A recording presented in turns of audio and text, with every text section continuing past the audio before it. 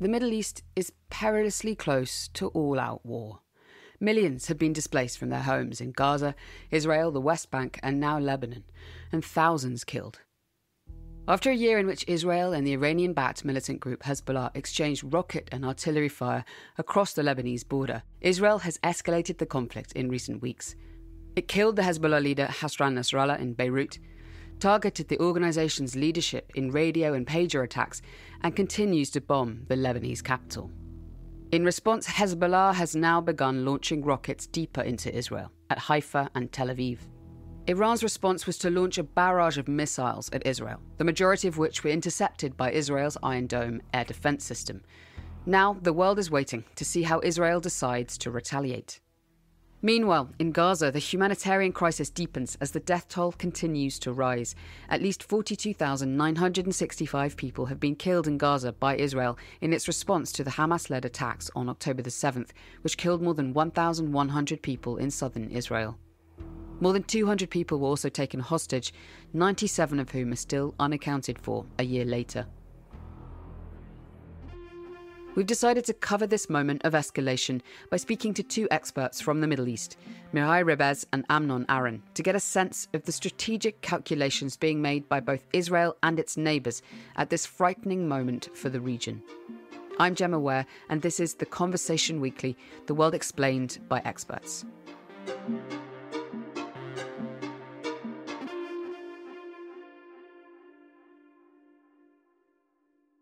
First, I'm joined by Mireille Rebeiz, Chair of Middle East Studies at Dickinson College in Pennsylvania in the US. Mireille, who's originally from Lebanon, is also Associate Professor of Francophone and Women's Gender and Sexuality Studies at the college. She's finalizing a book looking at Hezbollah's unlawful activities in Lebanon since 1982 and is also researching the Beirut barrack bombings of 1983 that killed 241 American service members and 58 French parachutists. Welcome, Mireille. Thank you for having me. So, Mireille, let's jump straight in if we can. What strategic and political calculations are being made by the local leaders in Lebanon in response to the recent escalation between the Israeli Defense Forces and Hezbollah, and particularly in the bombing of Beirut in recent days? You know, when I saw the question, I immediately thought, are we talking about the state of Lebanon or are we talking about the leaders of Hezbollah? Because they're two separate entities. From um, legal position, the state of Lebanon, which is a failed state at this point, um, nevertheless, the state of Lebanon has, from a military position, has reaffirmed its commitment to the United Nations Resolution 1701, which is its commitment to peace in a sense that there's no Hezbollah fighters within the blue line under the Litani River and among other things. And more so when Israel declared its intention to have limited ground operation in Lebanon and, and as well as uh, larger strikes the state of Lebanon withdrew its uh, formal Lebanese armed forces. And this is significant because, from an international law point of view, this means that uh, there is a separation between the state of Lebanon or its leaders and the Iranian proxy militia of Hezbollah. And also, the qualification of the conflict would remain a state on non state actor rather than having a full armed conflict or international armed conflict between the state of Israel and the state of Lebanon. Now, of course, Hezbollah's leader is a whole different story. Officially, it was created in 1985 by its manifesto, but before that, it actually was created as a response to the Israeli invasion of Beirut, the two month siege that was imposed on Beirut. And that's even by the admission of the own Israeli leadership, like Ehud Barak in a 2006 interview admitted that Hezbollah was created as a response to the Israeli invasion. And if Israel had not invaded, it would not have existed. Now, of course, it would not have existed without the mobilization of the Shiite community, which was a marginalized community back in the 1980s in South Lebanon, and it was fully supported by the state of Iran. So, in terms of military goals, in 1985, based on its official manifesto, Hezbollah always positioned itself as an opposition to the existence of the state of Israel, particularly the Zionist expansion agenda in the region Furthermore, it affirmed the dedication to the Palestinian cause. It affirmed its commitment to the Iranian uh, revolution and the Shiite ideology. Fast forward, we're still into that mentality of in terms of military goals. And in terms of underground, how did this appear? It appeared immediately as of October 8th with the imminent attack that happened between Hezbollah and Israel. And of course, the response increased in violence throughout time. So at the first, it was tit for tat. It was a military borders response. And so, for instance, initially the response of Hezbollah in terms of military, it was uh, targeting up to three kilometers into inside Israel. Now we're talking about targeting Tel Aviv. There were attempts to attack the Mossad headquarters. Just this morning, there was an attack on Haifa, rockets being launched by Hezbollah. So the military goals are definitely shifting in terms of intensity, in terms of how far they are reaching within Israel. But the nutshell of it remains the same. As opposed to Iran, now it's important to recognize that Hezbollah is Iranian backed militia operating from Lebanon. Iran's military goals are completely aligned with Hezbollah, so there is still that desire of expansion in the region. Now, the Iranian goal wouldn't have been happening if the United States had not destabilized Iraq. We're talking about 20 years plus going back in time, the destabilization of Iraq and when Iraq fell into a full chaos and war allowed for Iran to meddle into Iraq and gave a big voice to the Shiite conservative voices. 2011, the Syrian civil war, Syria descended into chaos. The Shiite or the Alawite, uh, more precisely, are in power. Hezbollah stepped in into Syria to defend the regime. So the point that I'm showing here is like it's a domino effect, like it's expansion from Iran to Iraq to Syria to Lebanon. And this is clearly visible in um, Iran's military goals, which is ultimately it's the expansion of the Iranian ideology in the region. Honestly, at this point, I would say there's an attempt to hide behind the Palestinian cause to achieve that goal looking at Iran more specifically, because it's obviously a significant player in this war, with, as you say, its alliances with Hezbollah and with groups such as the Houthis in, in Yemen, and also through its direct retaliation on Israeli territory, first in April and now most recently in, in early October. How might the kind of weighing up of what happens next be happening in Iran, and particularly in the last few weeks, and how might this influence the, the broader regional conflict? I wish I could predict what the future holds, but there's a lot that is happening and a lot of moving pieces. So, for instance, we are seeing more and more attacks from the Houthis in the Red Sea, the Kata'ib of Hezbollah in Iraq. You know, they're vowing retaliation. As you said, you mentioned the October 1st Iranian attacks, which for me, it's all a play, right? Like they led nothing to nowhere. Just like the April's attack, they led to nothing. I would say Iran's response right now is really contingent on one important issue, which is the nuclear deal. The amount of death we're seeing in the Middle East at this point, I would say many civilians are paying the price just because Iran has an agenda and ultimately is how it's going to negotiate its nuclear deal with the United States. And, you know, whether it's going to expand on the region or not, I would say that ultimately this is the goal for Iran. What do we know then of, of the reaction of the Iranian people mm-hmm. to this moment, to this escalation?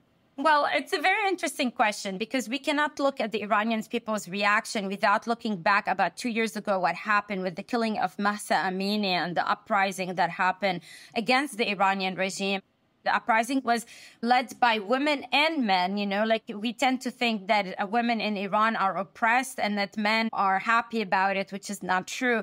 So the killing of Mahsa Amini and the uprising against the Iranian regime is extremely important to look at because it showed that a lot of people from different sects, different ethnicity, different class are actually uh, dissatisfied with the Iranian regime. The economy in Iran is not thriving. There is a serious inflation. There is a serious unemployment among youth. And the Iranian regime is making it sound that they're united and then everything is fine. But reality is we saw the brutal crushing of the Iranian people when the Mahsa Amini happened. As a matter of fact, this is the hypocrisy of the global north. When Mahsa Amini's uprising happened, the global north, like we saw women cut their hair in parliaments and Time magazine post Iranian women and their bravery with their hair and so on. But reality is, as this was happening, the export of Iranian oil had increased and it was being bought by European countries such as Bulgaria because, you know, of the Ukrainian crisis. And so we see this fake discourse of, yay, let's support human rights in Iran and the Iranian uprising. But reality on the ground, within the year, it was dead. So all of this to say that on the ground, we don't know what the Iranian people are saying because they were brutally crushed two years ago. And as a matter of fact, on the year anniversary of Mahsa Amini's killing, we saw the arrest of her uncle and some members of her family just because they were trying to create a commemorative service for her. I would hazard to guess that the Iranian people are extremely dissatisfied with what's happening, despite what the media is showing that many Iranian people want the retaliation for the killing of Hassan Nasrallah, for instance. But I would hazard to guess that there is serious displeasure inside Iran. I want to turn now to the role of, of other Arab states, because in, in 2020, several Arab states, including the United Arab Emirates, Bahrain, Morocco, and Sudan, signed a series of agreements with Israel known as the Abraham Accords. Since the Hamas led October 7th attacks, these accords have stalled. Saudi Arabia, which was also on its path to normalization, said it won't proceed until an independent Palestinian state is established. And yet, in spite of this, Arab states have been accused of remaining relatively silent on the Palestinian cause, with some maintaining economic ties with Israel. What do you think is driving this relative silence from the Arab world? And what does it say really about the broader regional dynamics that we're seeing?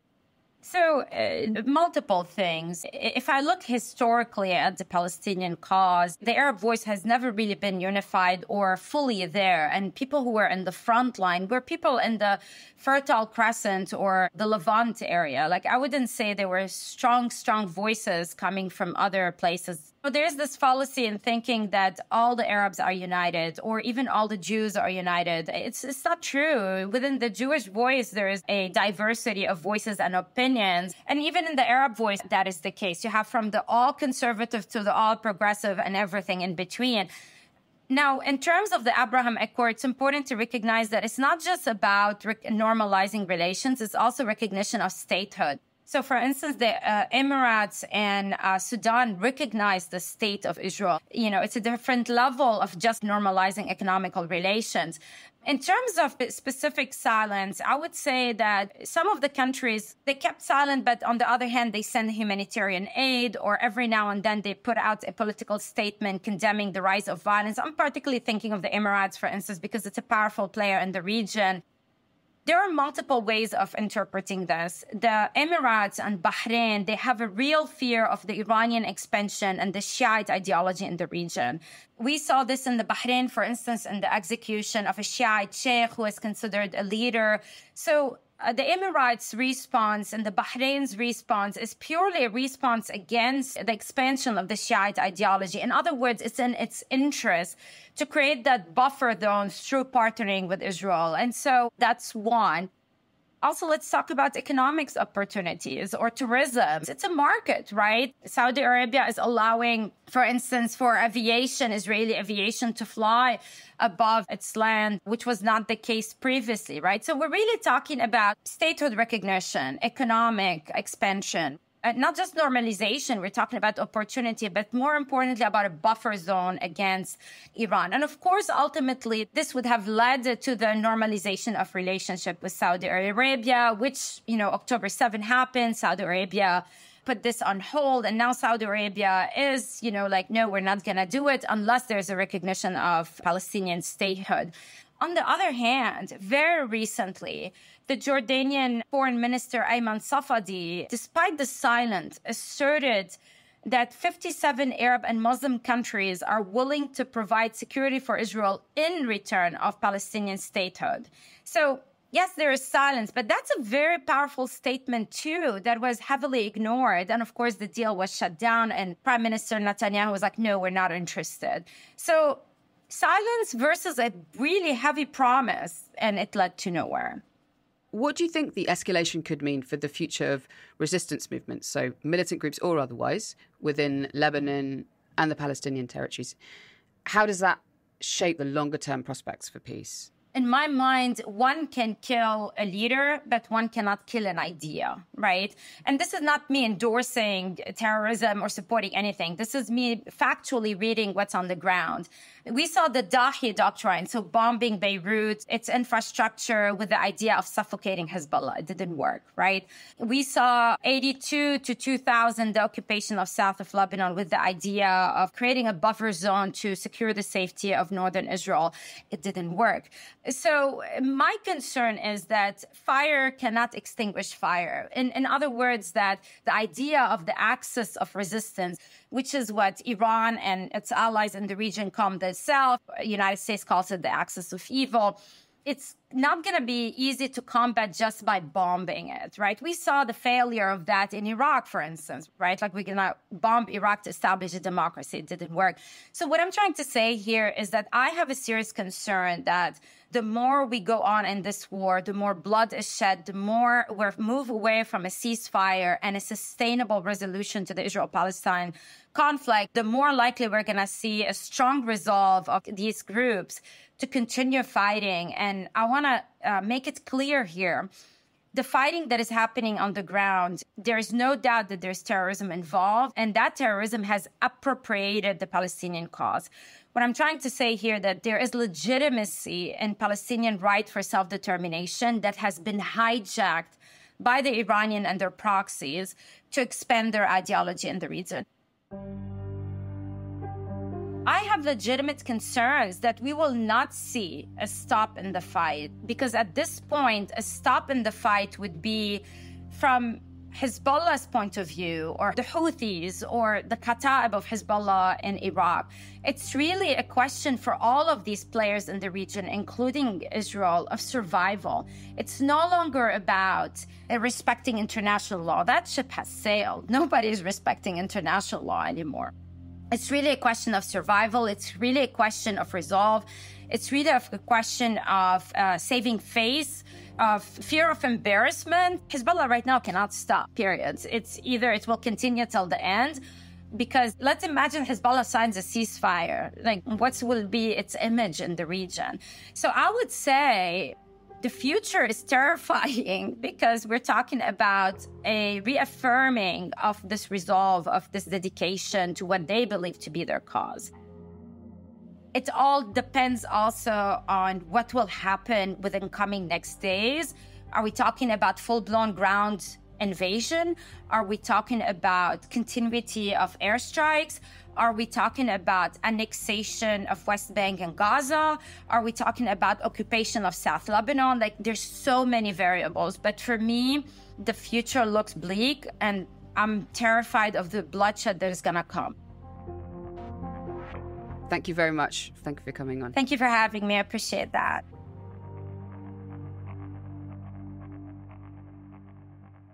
My second guest today is Amnon Aran. Amnon is Professor of International Relations at City St George's, University of London.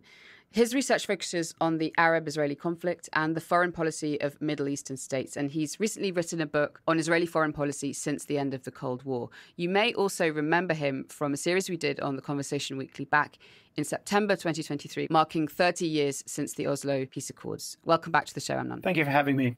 When Israel began its attacks on southern Lebanon, it said it wanted to secure the return of 60,000 people displaced from their homes in northern Israel by rockets fired by Hezbollah from Lebanon. What now are the wider political and strategic calculations being made within the Israeli government about this escalation and where it goes from here? What essentially does Israel want from this moment? So I think when we look at Lebanon, really, I think around June, we saw the shift beginning, the Israelis seem to conclude that they've completed, if you like, the major military offensive in the Gaza Strip, and that's when they began to shift their forces to the northern border. I think in the last three weeks or so, even the Israelis, it seems to me, have been surprised by what they conceive or what they define as being successes. It began with the walkie talkie and beeper explosions, which Israel didn't take responsibility on, but is widely thought that Israel has been behind. But I think more significantly, the Israeli ability to effectively assassinate almost the whole of the Hezbollah political leadership, the vast majority of the military leadership as well, uh, gave the feeling to the Israelis that they are now on the front foot. I think, in terms of what they're trying to achieve, they've been accused of not doing anything, not being active enough, only being defensive. And the combination of these heavy bombardments that we're seeing now in the Dahya and Beirut, in addition to the ground force entry into the southern part of Lebanon, I think signified that the Israelis at least want to secure the territory adjacent on the other side of the border. And that's why the invasion has actually moved from east to west rather than like we saw in previous invasions where there was a big sort of entry, a very fast entry from south to north. What we've seen here is an east west deployment of forces. At this point, I don't think the Israelis are trying or seeking to establish a long term, what they called security zone, as we saw, for example, after the 1982 Israeli Lebanon war. But I wouldn't rule out at least temporary control of that area to effectively remove and destroy the fortifications that Hezbollah built there and the weapons depots that the IDF seems to be finding. However, uh, what the Israelis are also dealing with is a growing number, more frequent and also deeper rocket attacks coming from Lebanon into Israel. They've gone as deep as uh, Haifa, Tel Aviv. And I think, although because of the Israeli defense missiles, they have not resulted in significant losses in terms of human life, they are causing significant disruption to everyday life. And on the back of already one year of war, I think one of the biggest challenges the Israelis face is actually how long they can actually sustain this kind of reality where large parts of the country have this interruption. So, with that in mind, as you say, it's been a year of war, and this week Israel is marking a year since the October 7th attacks. What then is the mood really within the Israeli population to this escalation that we've seen over the last few weeks? In Israel, the past 12 months have really been described as an existential moment, and the narrative has been very much of an existential moment in Holocaustian terms. And I think this is one of the reasons why we have seen the type of response that we've seen in the Gaza Strip and in Lebanon. And I think the other thing is, is that this existential feeling also coincided with the institutionalization of a very extreme government in power. And therefore, when the question came about how to respond to this existential threat, it was very much from the prism of what I called elsewhere a form of entrenchment, which really means that Israel only makes peace uh, in exchange for peace. Any diplomatic arrangement has to be dependent upon and subordinate to military advantageous balance of power towards Israel, and that the Palestinians in the West Bank and now in the Gaza Strip would remain under Israeli occupation for the foreseeable future. This is why we saw the kind of warfare that we saw in the Gaza Strip. And it seems to me that this existential feeling coinciding with a very, if you like, hawkish outlook also explains what we're seeing now in Lebanon. After Iran's recent launch of ballistic missiles against Israel on the 1st of October, the former Israeli Prime Minister Naftali Bennett wrote on X, formerly known as Twitter, that Israel now has its greatest opportunity in 50 years to change the face of the Middle East also, some Israeli politicians, including Benjamin Netanyahu, have voiced or implied perhaps ambitions for territorial expansion in recent months, including into occupied Palestinian land and Lebanon. Some commentators have compared this moment to 1967, when Israel gained control over the Sinai Peninsula, the Golan Heights, the West Bank, the Gaza Strip, and East Jerusalem. Do you see parallels between the current escalation and the 1967 war? And how prevalent do you think this sentiment is within Israeli politics about the territorial ambitions?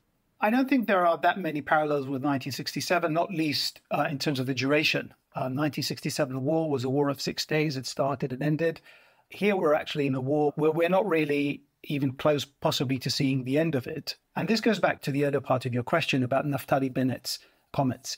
So I, I think actually in Israel there's been a very fierce debate about what to do now. Naftali Bennett represents one side of that debate, saying that this is an unprecedented opportunity for Israel to attack Iran's nuclear facilities, an opportunity that will not return because Hezbollah has been weakened to the extent that it has, and that Hamas effectively is no longer an operational force in terms of threatening Israel. You know, Hamas might and still is work as a guerrilla a force, but as a force that can actually threaten Israel and participate in what Iran calls the axis of resistance, Hamas is no longer there and Hezbollah is significantly weakened. So, from that point of view, this is the rationale of Naftali Bennett. This is an opportune moment for Israel to attack Iran's nuclear facilities. But there is another side, which is also quite voiceful, also within the military establishment, that says if you do attack Iran's nuclear facilities, and even if that is successful, that is a reason for war, for a full blown war. And then the question that comes up is how do you end this war?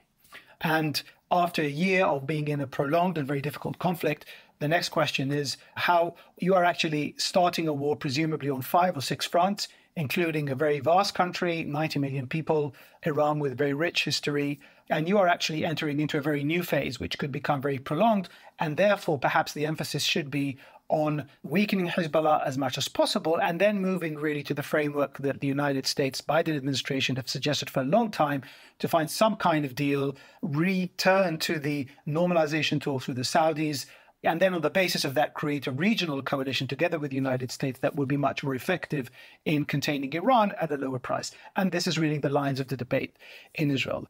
Which one is winning at the moment on those sides? I think it's very difficult to say. And I think there are very few people in Israel right now that really know. I think we will obviously get a very strong indication by what targets the Israelis decide to attack when they launch their retaliatory attack, which I suspect they will. And they've basically got five categories. They can attack nuclear sites, they can go for military facilities, they can go for energy facilities, oil, they could go for state symbols, and for assets owned by the Revolutionary Guards. If they went for two of these groups, military sites, especially those used to launch the missiles, or Revolutionary Guards, that would still remain within the equations, if you like, that we've been talking about so much in the war. However, if the Israelis go for a nuclear site or even for Iran's energy depositories, then we're entering into a very new and I think uncharted waters. So it's very difficult to say where we are. In relation to your question about territorial ambitions, I think at the moment, the only political factions in Israel that are officially talking about territorial expansion are people like Itamar Ben Gvir and Bezalel Smotrich, they have stated explicitly that they would want to resettle the Gaza Strip. Netanyahu has denied that on several occasions. Uh, he said that Israel has no intention to do that. But having said that, life has an interesting dynamic that things sometimes happen. The Gaza Strip at the moment is in a very dire humanitarian situation. The Israelis have rejected any kind of external intervention in the Gaza Strip. At the moment, there's no deal on the hostages. And therefore, there is a big question about who can actually deliver the humanitarian aid in the Gaza Strip. Hamas has not done that in good faith. The Israelis have also imposed their difficulties in terms of transferring humanitarian aid into the Gaza Strip. So there will come a time, and the winter is coming very close, and the question will become more acute, I suspect, on what do you do with the over 2 million people in the Gaza Strip? How do you prevent famine? How do you prevent the widespread of disease? And we now hear that Netanyahu has asked the IDF to explore the idea that the IDF would now become responsible for distributing the humanitarian aid.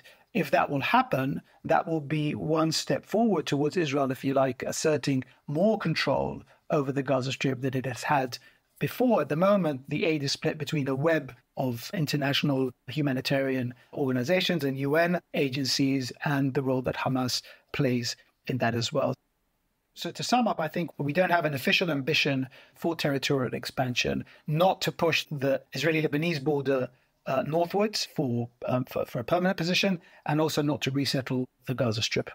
Historically, Israel has received more US foreign aid than any other country. I think it's over $300 billion since Israel's creation in 1948. And since the escalation on October the 7th, the US has provided Israel with additional military aid, as have countries in the EU, most notably Germany and Italy. Israel clearly has military superiority and air defense superiority of, of its own territory compared to its neighbors, including Iran. What does that mean for Israeli foreign policy and what it decides to do next, that military power imbalance? I think it, it means that in any type of decision the Israelis made, the American factor will be present, but it will not be the only factor that determines the final decision. We've seen this when the Americans all but demanded the Israelis not to go into Rafah, then the Israelis did. The Biden administration repeatedly asked the Israelis to be more careful with civilian casualties. According to the president, um, he firmly still thinks that there have been too many civilian casualties. And I think we also know that the Israelis informed, but perhaps not asked for permission before they assassinated very high level figures such as Hassan Nasrallah. I think probably the area that the American factor matters most does concern Iran. If, for example, the Biden administration uh, would say to the Israelis, look, we agree with the analysis of Naftali Bennett that you mentioned earlier, that this is the time to strike the Iranian nuclear facilities, I think that would significantly, dramatically increase the chances that the Israelis would go ahead with this kind of assault. But of course, very shortly now, we're in the final stretch of the presidential election. It would seem that the Biden administration is not keen for that to happen. And therefore, that could have a qualifying effect. So I think the Israelis have had and actually have expanded what I would call uh, their autonomy in their foreign policy decision making, although that is not tantamount to having full independence in foreign policy decision. And this is, I think, where sort of the US factor comes in. What do you see, perhaps, as the only long term solution to ending the conflict, and, and how can it be implemented? So I think here we're now actually talking already about multiple conflicts. So if we looked at 7 October 2023, we were looking almost primarily on Israel and the Palestinians with the focus of, of the war that was taking place in Gaza the shift of the military confrontation now to Lebanon has now opened up, if you like, two other conflicts. One is between Israel and Hezbollah, which has been long standing. And we have seen the most intense period in terms of the conflict between Israel and Iran that has also been going on in the shadows for several years, but we have not seen these direct attacks like the ones that were launched by Iran in April and October. So I think there's really a question here about the two conflicts. I think, in relation to the Israeli Palestinian conflict, I'm increasingly of the view that the idea of resolving this conflict through a two state solution within the, if you like, confines of what was once mandated Palestine, I think it has been tried so many times. I think we might conclude that is not possible. I equally think that uh, what some people talk, especially in the West, about a one state solution is equally impossible. And therefore, I think we really should begin to think a bit much more creatively about something that actually Hanan Ashrawi told me in the previous podcast that I did here. She said, it doesn't matter that much if we have a one state or two state. We need a solution that does secure liberty, freedom, and dignity for the Palestinian people. And I think a Palestinian state should come about, but what should be the borders of that state? How much, for example, territory it could have? Through agreements of leasing, let's say with Egypt, through massive economic aid from the Gulf, through perhaps political arrangements that go elsewhere and also can involve the diaspora. These are very intricate issues, but I think the idea that we can somehow carve two states out of this very narrow territory between the river and the sea, to me, is becoming extremely difficult. I think in relation to Hezbollah and Iran, what is very worrying is that from 7th of October 2023, the only thing that we have seen is really a trajectory that was one of escalation. Apart from a very short period of this temporary ceasefire we saw in November, all we have seen is escalation. And what we know about very big wars is that actually they don't start in one moment. You know, World War II, we had the kind of prelude in the Spanish Civil War. So my worry is now is that if, if we don't have some sort of framework that can, a political framework that can bring the fighting to an end, what we are seeing certainly in the short term is a much more significant escalation. What could that framework be? Some sort of political framework that really lays down a fortified framework of Resolution 1701, which effectively Hezbollah goes north of the Litani River. But also, I do not see uh, something that goes further than that. For example, along the lines of Resolution 1559, which called for the disarmament of Hezbollah. And that could be in parallel with some sort of diplomatic reprieve to Iran. I still think that Iran is really the main engine behind the so called axis of resistance or axis of terrorism, especially in Hezbollah weakened position at the moment. I, I suspect they would find it very difficult to continue fighting if Iran would take a strategic decision that this is not in its favor. But at the moment, one has to ask what does Iran get from it? Is the regime sufficiently under threat? Possibly not. Do they have enough incentives to do that? Probably not. Can we have actually a decision that anybody can respect at the twilight of the Biden administration? Joe Biden can promise anything he wants at the moment, but what happens after the 1st of November, who knows? And that, of course, unfortunately coincides with a very critical month in this conflict, in which actually we could escalate quite significantly. So I think it, it would be very difficult now to orchestrate some sort of diplomatic solution unless there is a very sudden change in the military balance of power in either side's favor to the point that one of the sides feels that they're really at a point where some sort of offered diplomatic solution is the best exit ramp they have. But failing that, I suspect that the trajectory that we've seen over the last year, that of escalation, is unfortunately what, at least in the short term, we're likely to see. For the safety and security and livelihoods of many people in the Middle East, I, I do hope that that trajectory and that off ramp happens. But thank you very much, Amnon, for coming on and sharing your thoughts with us. My pleasure. Thank you for having me.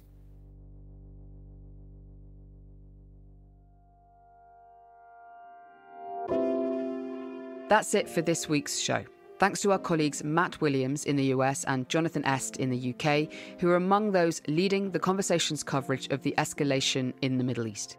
This episode was produced by Mend Mariwany. Sound design was by Michelle Macklem, and our theme music is by Neeta Sarl. Stephen Khan is our global executive editor, and I'm Gemma Ware, the executive producer.